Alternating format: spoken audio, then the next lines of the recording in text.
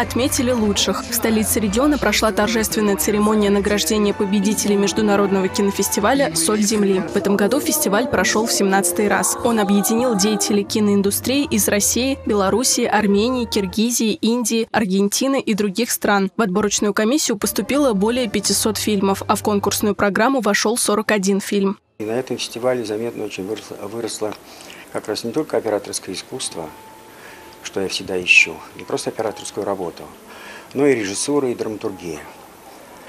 И темы, которые в данном случае фильмов, которые участвуют уже непосредственно в фестивале, вот, они уже гораздо глубже режиссеры делают и решают эти вопросы. Все они э, очень достойны быть среди победителей, потому что рассказывают об уникальных человеческих судьбах, об исторических событиях, которые связаны с нашей историей.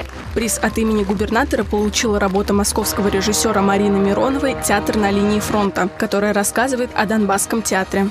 Большой поклон Самарской земле. Я впервые здесь, я покорена этим городом.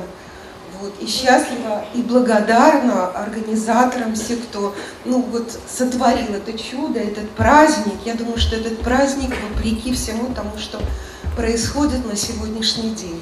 Приз от имени главы города получила картина «Пережить заново» режиссера Екатерины Вилетник. Этот фильм о фильме «Смотри на меня». Обладателем гран-при стал фильм Михаила Щедринского «Роман Костомаров. Рожденный дважды».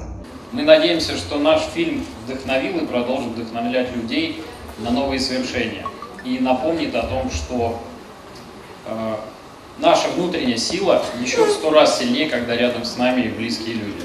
Также наградили победителей в пяти номинациях. «Здесь и сейчас», «Времена не выбирают», «Русский собор», «Чти отца твоего» и «Матерь твою», «Кама Гридеши», Полина Чулюкова, Николай Епифанов. События.